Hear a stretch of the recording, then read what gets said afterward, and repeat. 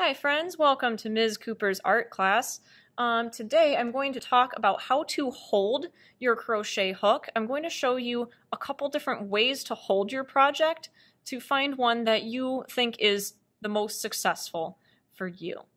Um, so this relies on you already knowing how to tie a slip knot, so I do have a video that shows you how to do that. Now if you're just trying to practice and you need to just tie a regular knot to get a loop over your hook, that is okay that is just fine.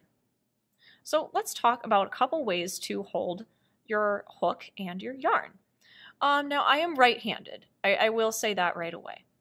And I you can use this little thumb rest all the way back here, but and I tend to use that for my thumb, but my pointer finger, I usually rest on my loop and scoot it up and down my hook.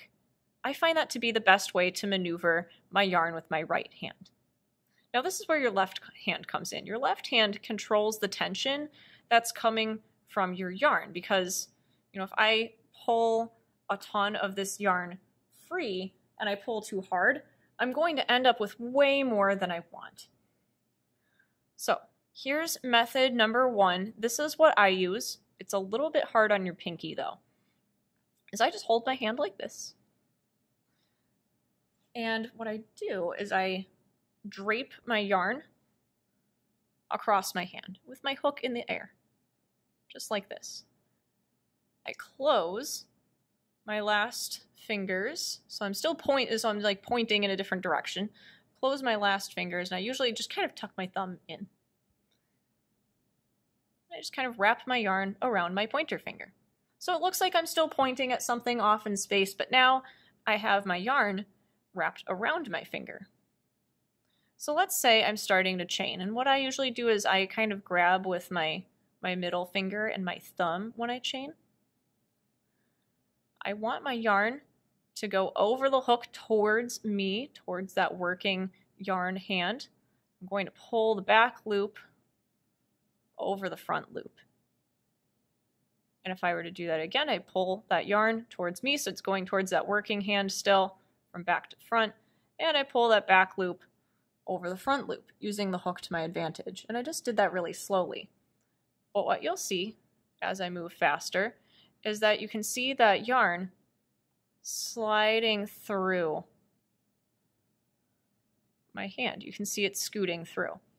And I can keep my back fingers nice and tight so that it doesn't really go anywhere and so that I don't end up with too much. So that's how I control my tension. But that's a lot for your pinky. So here's a different way to do it if you don't want your pinky to have to hold any tension, um, let's say you have arthritis. I've met people with arthritis who do this. What you can do is do the same thing where you drape your yarn, but instead you're going to keep pulling and you're going to wrap it around your hand twice before you wrap it around your finger. What happens is you naturally end up with some friction from your hand. So you can do this twice or you can just do it once, kind of like me. So you can see it just goes around their hand. And having it trail across your hand creates some natural friction so that your pinky can do whatever it wants. Your pinky can just kind of hang out into space and not have to do anything. So really, the only fingers that have to do something are your thumb and your middle finger. Um, I've met a lot of people who like this better, and then they just kind of tug with their whole hand as they run out of yarn. So I don't have enough yarn, so I'm just going to kind of pull it, and then I have more to work with. So if you need something that is very stress-free for those back fingers, this is a great way of holding your yarn. And I've seen a lot of people do this one.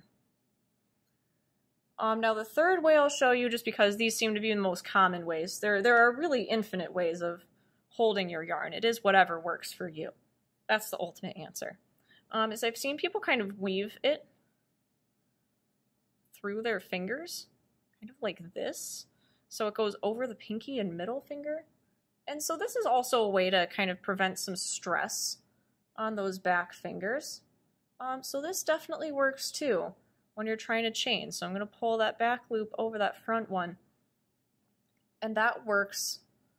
That works all right for me. I'm just not used to it but this is another way to reduce strain on your other fingers. So hopefully that helps. and I'll still end up with this lovely chain to work with.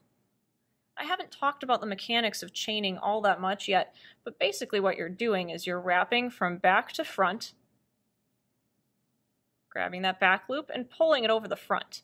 What you'll notice about the way I hold my yarn, because I haven't commented on my right hand much, is when I pull, I use my right pointer finger to push things along to smooth it. If I tried to just pull it all the way from here, if I'm fighting with this finger, that's going to make my life hard. So that finger guides it upwards. It makes it easier on my left hand. So again, I pull from back to front, and I loop it over.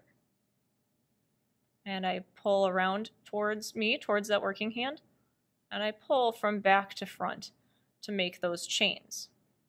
And you can see my chain looks a little bit different depending which method I use.